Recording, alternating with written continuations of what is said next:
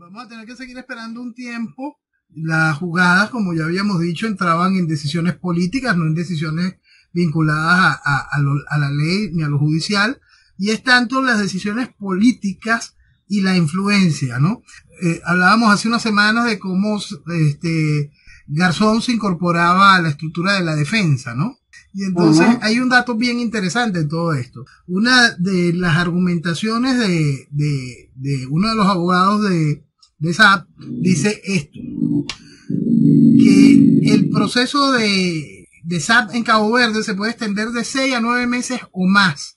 Basta recordar, y entonces él pone el punto allí, basta recordar que el señor Pinochet estuvo un año y medio esperando decisión en Inglaterra frente a una solicitud similar a esta. Dice, imagínate la comparación que está generando, ¿no? Sí, sí. Y, y entonces ahí es donde volvemos a Garzón, que Garzón fue el que hizo posible aquella situación para Pinochet. Ya Garzón como juez de la Audiencia Nacional Española. Entonces, todo esto va hacia esa, ya, esa, carga política, tal como lo indicó Garzón cuando se incorporó a la defensa esa. Ahora quieren ir ante organismos internacionales, o sea, la cosa es alargarlo lo más que sea posible. Además está pidiendo cárcel domiciliaria por problemas de salud. Sí, ellos van a hacer todas las herramientas, todas las tácticas dilatorias.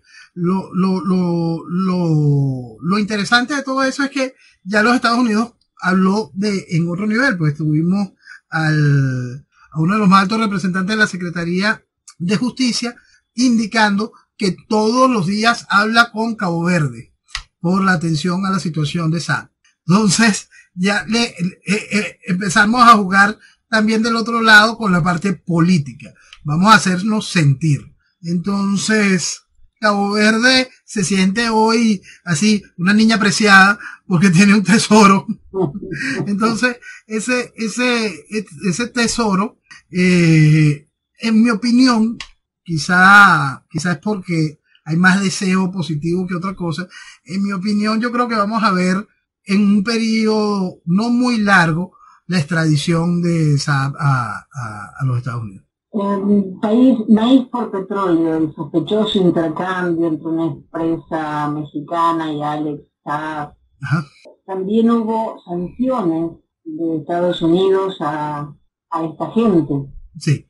Esa empresa se llamaba Libre a Bordo. Y nosotros tocamos ese, ese tema por otro punto y lo llevamos, porque es bien interesante para mostrar las múltiples conexiones en cada una de estas cosas, ¿no?